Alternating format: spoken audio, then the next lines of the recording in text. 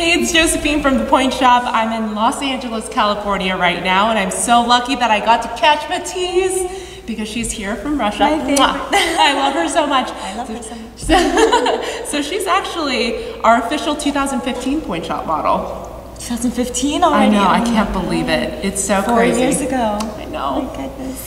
so she was at Bolshoi for training, mm-hmm. and then now she's still dancing in Russia. She's at the, the Russian Ballet Theater, and she's going to show us how to prepare your pointe shoes for performance and how to pancake your shoes because you need different colors for different things. yes, we do. So first of all, what kind of pointe shoes do you wear? I wear Gaynor Mindens, and yeah, so to make them obviously not dirty, well, for ballets like Don Quixote and Spartacus and um, what else do we do? Well, different ballets like that, we need nude pointe shoes because we wear nude tights, and so I we dancers in Moscow we just pancake our shoes with literally regular face foundations. Mm-hmm. Face foundation, you just take a little bit with a sponge here, like this. And that's a makeup sponge too. Yeah, this is the best. And you can use this for your face, but not on. And you Don't just, use the same sponge for your face and your shoes. yeah, and you just pancake your shoe. And you can do it. I've done, I pancake these shoes probably like five times because sometimes it wears out, wears off. So mm-hmm. that's what you do to make them nude. And then you just le- set them aside, leave them to dry, and then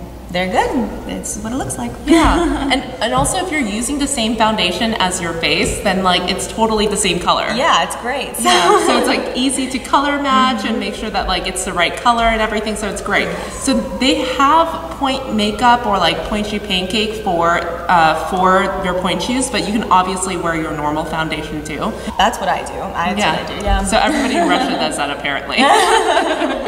and then to make them whiter, to make them cleaner on stage because all our tights are like pink white. Um, well, that's just in Moscow. They don't really like when our shoes are so shiny. You know, when we get a new pair of Gaynor Mindens, they're so pretty and pink and shiny. But on stage, it like brings too much attention to our feet. That's And true. Our teachers always say, "You have bad feet, so might as well just make it not so noticeable." So They're when- very blunt over yes, there. we do. We do like almost a kind of light, light foundation, very, very white. They also sell it at Bloch. I think we sometimes use mm-hmm. the Bloch white foundation, face foundation, and then I just use regular powder or like a uh, specialized white powder to make them not so shiny. And you just put a little powder, and there you go. Boop. Make it mm-hmm. not so shiny, and there you go. With tights, it looks really good on stage. when you're using powder, mm-hmm. you don't have to really let it dry or anything. no, no, no, no, no. It's like already. That's dry. perfect. Yeah. But the foundation, because it's liquid, Yeah. how long do you leave it? Only like for about an hour or two, and it's all good. I, I would do that to my shoes in the morning, and I'll be good to dance 7 p.m. show. That's so, so it's great. Yeah. That's so good. So, mm-hmm. g- and Gaynor Mindens too, they don't actually change when you put liquid on it, but if you're using regular pointe shoes and if you put mm-hmm. liquid foundation on it, it does change a little bit. So, a lot of people that use um, pancake for their pointe shoes, I think like a drier powder is better for regular pointe Yes, shoes. Yes, like Russian Pointe and Grishko because I wore Russian Pointe and Grishko as well. That's I true. know Suffolk, all of those. I know they will change. Even like a little bit of water, and I'll go what? The whole shoe will change. So you have to be really careful. Mm-hmm. That's true. Try it with a dead pair of pointe shoes, see how it works, and then go to your shoes that you'll be dancing with. But uh, those for those who wear Gaynors, I mean, you guys know Gaynors are they're Gaynors. You can put them in the washing machine. You can put liquid on them, and they're great to go.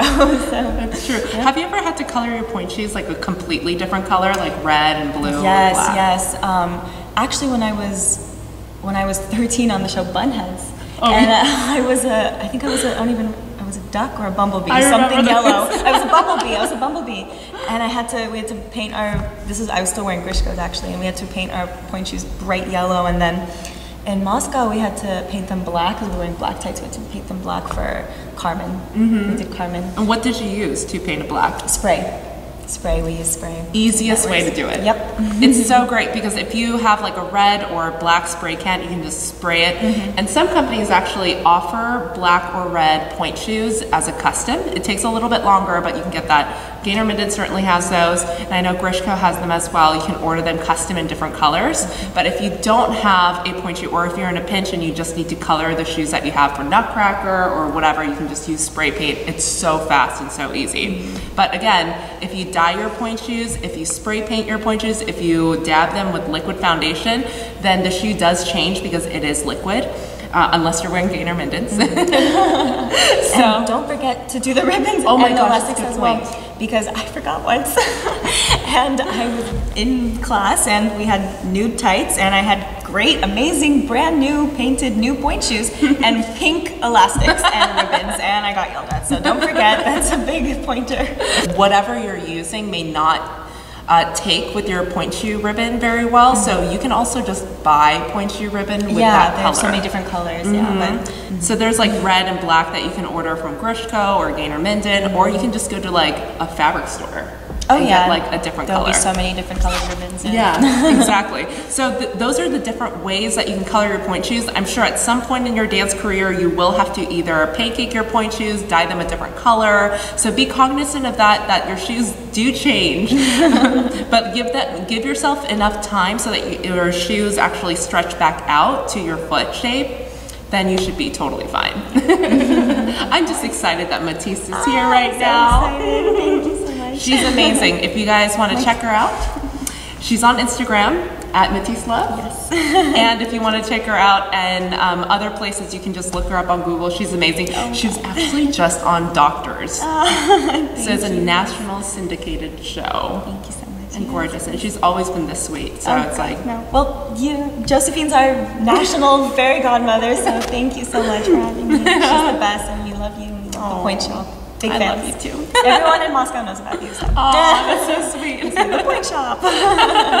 well, thank you so much, Matisse. Thank you I so always much. love you so much. you too. Mwah.